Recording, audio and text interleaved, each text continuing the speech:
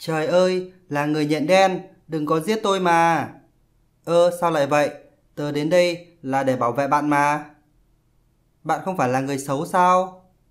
Đúng vậy, rốt cuộc đã có chuyện gì xảy ra? Tại sao cậu nhìn thấy người nhện lại sợ hãi như vậy? Đó là bởi vì dạo gần đây xuất hiện một người nhện đen chuyên sát hại người dân vô tội.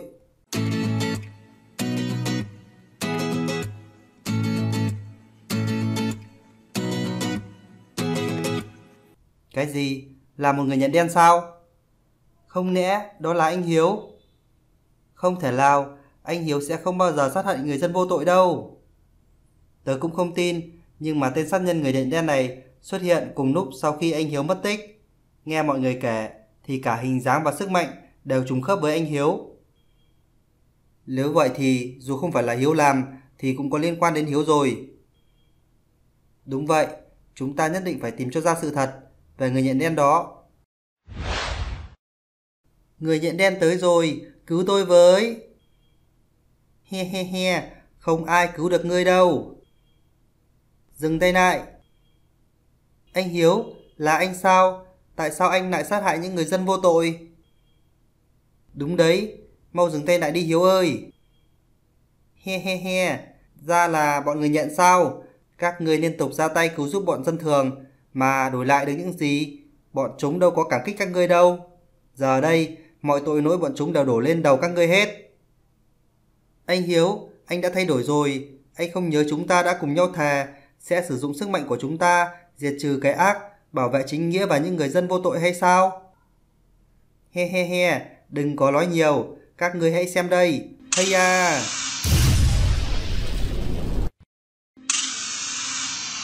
Anh Hiếu ơi, dừng tay lại đi. Không được rồi, có lẽ anh Hiếu đã bị kẻ nào đó điều khiển rồi. Hay à! Ta không thể để thằng Hiếu tiếp tục phạm sai lầm, đi hại những người dân vô tội nữa. Ta phải tiêu diệt nó. Khoan đã anh Tuấn, dù sao đó cũng là anh Hiếu mà. chính ra đi Thảo, nếu để anh Hiếu thoát thì sẽ có rất nhiều người dân vô tội sẽ phải chết. Không, em sẽ không tránh ra đâu. Mọi người không được làm hại anh Hiếu của em. He he he, hôm nay các người đã phạm sai lầm rất lớn, đó là không giết ta. Ngày sau trở lại, ta sẽ tiêu diệt toàn bộ các ngươi.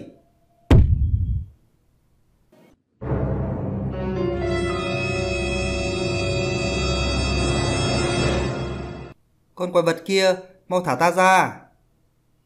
Ngươi yên tâm đi, ngươi sắp được siêu thoát rồi. Sở dĩ ta giữ mạng sống của ngươi, đó là bởi vì bộ đồ người nhận này sẽ bị tan biến khi ngươi chết. Nhưng chờ khi ta hấp thụ được toàn bộ sức mạnh của bộ đồ người nhận này, ta sẽ không cần tới ngươi nữa.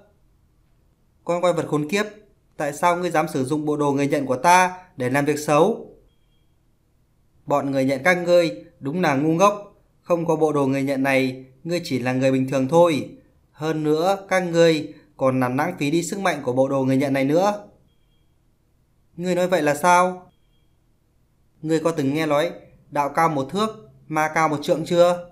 Nghĩa là nếu ngươi đi theo con đường ma đạo, sức mạnh của các ngươi sẽ tăng lên gấp ngàn lần. Với sức mạnh đó, các ngươi có thể trở thành bá chủ của thế giới, đâu cần phải bảo vệ ai nữa. Không, ngươi nhầm rồi, công lý luôn chiến thắng bóng tối. Các bạn của ta nhất định sẽ tiêu diệt được ngươi. He he he, hôm nay ta đã chiến đấu với các bạn của ngươi. Bọn chúng đã có thể tiêu diệt được ta, nhưng bọn chúng nghĩ ta là ngươi, nên đã bỏ lỡ đi cơ hội duy nhất đó. Giờ đây, năng lượng ma pháp của ta đã gần hoàn thành rồi. Bọn chúng đã không còn là đối thủ của ta nữa rồi. Ta sẽ cho ngươi thấy sức mạnh đó. Hãy xem đây.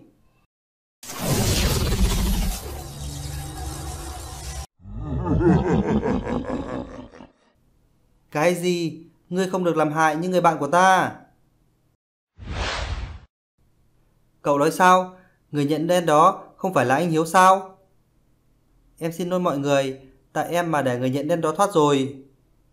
Đừng no, mặc dù hắn không phải là anh Hiếu, nhưng rõ ràng bộ đồ người nhận đó là của anh Hiếu. Vì vậy, chị đã phóng tơ nhận theo dõi vào người hắn rồi. Chúng ta chỉ cần lần theo dấu vết tơ nhện để lại là có thể tìm ra được anh Hiếu. He he he, Cuối cùng thì ta đã hấp thụ được toàn bộ sức mạnh của bộ đồ người nhận này rồi. Giờ đây, ngươi đã không còn giá trị nữa rồi. Ngươi sẽ giết ta sao? Không đâu, ta sẽ sử dụng ngươi làm con mồi, dụ bọn siêu nhân người nhận đó tới đây để tiêu diệt toàn bộ các ngươi cùng một lúc. Ngươi thật là bị ổi, rốt cuộc ngươi là ai? Xin giới thiệu cho ngươi biết, ta chính là V5.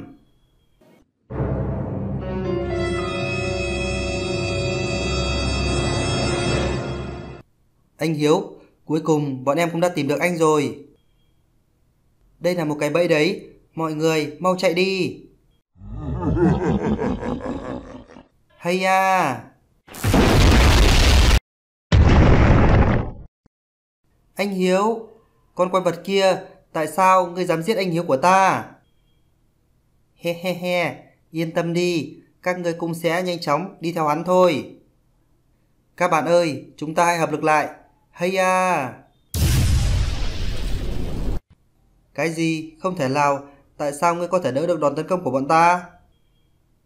Các ngươi ngạc nhiên lắm đúng không?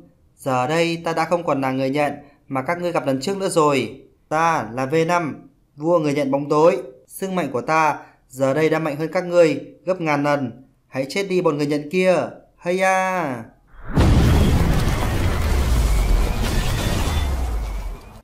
Không xong rồi mọi người ơi, không có anh Hiếu, chúng ta không phải là đối thủ của con quái vật người nhận V5 này đâu. Ơ, đây là đâu vậy? Ta đã chết rồi sao? Các bạn của ngươi đã gặp nguy hiểm, tại sao ngươi không đi giúp bọn họ? Ta đã mất đi bộ đồ siêu nhân người nhận rồi, giờ đây ta đâu còn sức mạnh, dẫu ta có thể trở về thì cũng chỉ làm vướng chân mọi người thôi. Nếu ta cho ngươi mượn sức mạnh, ngươi sẽ lấy gì để đổi với ta? Ta nguyện dùng mạng sống của ta để đổi, hãy cho ta mượn sức mạnh, ta phải đi cứu bạn của ta. Tốt lắm.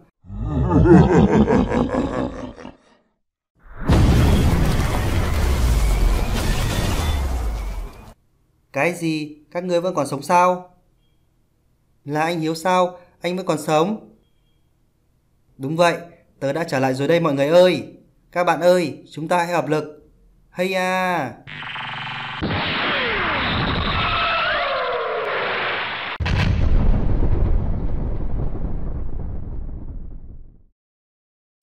Hoan hô, chúng ta thắng rồi. Đừng có vội mừng, bọn nhóc con. Cái gì? Hắn biến thành khổng lồ sao? Hãy chết đi, bọn người nhận khốn kiếp kia. Hay ya. À, à, à. Các bạn ơi, sức mạnh của hắn lại tăng lên cấp bội rồi. Chúng ta hãy triệu hồi robot siêu nhân người nhận siêu cấp. Siêu nhân người nhận đỏ. Siêu nhân người nhận xanh. Siêu nhân người nhận trắng. Siêu nhân người nhận hồng siêu nhân người nhận đen, nhân danh công lý và chính nghĩa, triệu hồi Robo siêu nhân người nhận siêu cấp.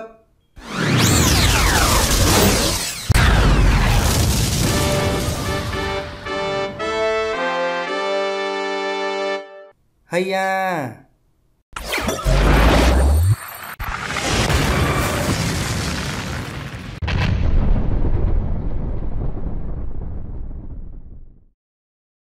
Cuối cùng quái vật V5 đã bị tiêu diệt.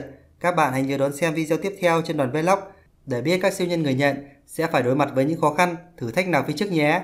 Video của chúng ta hôm nay đến đây là hết rồi. Nếu các bạn thấy hay, hãy cho mình một like, đừng quên đăng ký và chia sẻ với bạn bè. Bây giờ thì xin chào và hẹn gặp lại các bạn ở video sau.